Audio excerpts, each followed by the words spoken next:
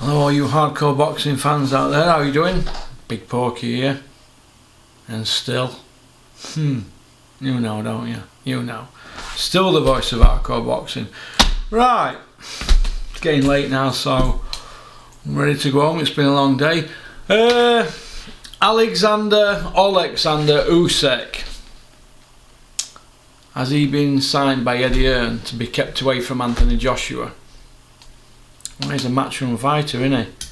Joshua's a matchroom fighter. They both got gold medals at Olympics. One a super heavyweight, one a heavyweight.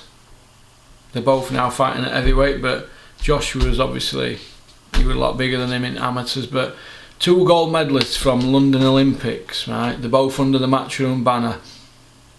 Usyk's undefeated. He's cleaned up and won every belt at, super, at cruiserweight and he's moved up to heavyweight now in pros. Joshua's one defeat, but he's got four belts out of the five.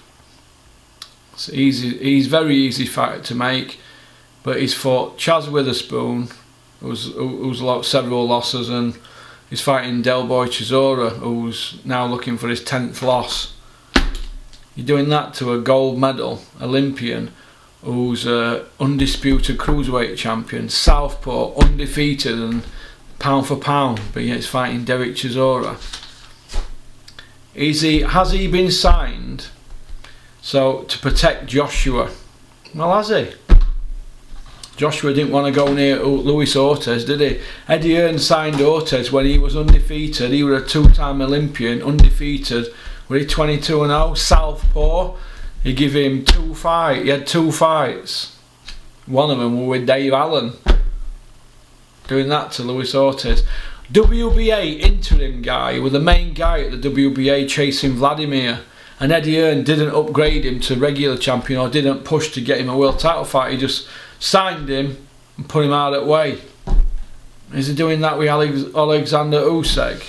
It remains to be seen, doesn't it? But he's put a stopgap in there. Derek Chisora has had Chaz Witherspoon, but he's telling us that he needs to uh, be be seen with public and all that and get known to us. We already know who Usyk is, a gold medalist.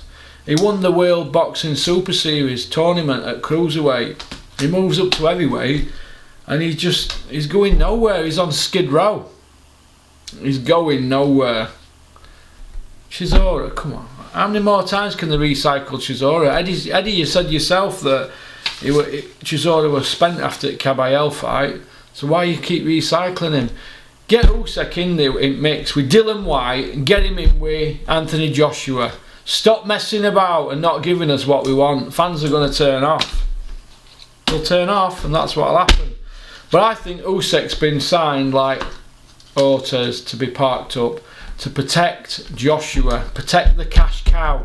They've got to protect the cash cow. It's like having a, a queen and a king on, on your chessboard you have your rooks and your bishops and your I was going to say prawns and it's pawns and it pawns and uh, castles or is that a rook I forget anyway now I used to play a lot of chess when I was doing porridge but many years ago but the the protecting the king and the queen aren't they? Dillian Whyte's the queen Joshua's the king. Usyk's protecting them. That's what's happening. And, and Derek Chisora to a certain extent but he's a spent force in Chisora. But we want to see the fights, don't we? I mean, I've just done, done a video yesterday, Anna, regarding you know all the fighters that the fights that he could made could have made whether 11 or 12 fights that he, he, could make maybe more. I mean you could even throw Savannah Marshall Claressa Shields in that but Shields is not an Eddie fighter is she? Or is she? I don't know. Has he got links to her? I don't know, but Savannah Marshall's a matchroom fighter, isn't it?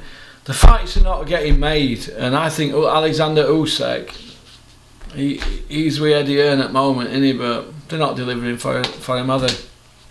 That's just my opinion. So, peace out. Keep on trucking, keep sporting boxing, don't have nightmares.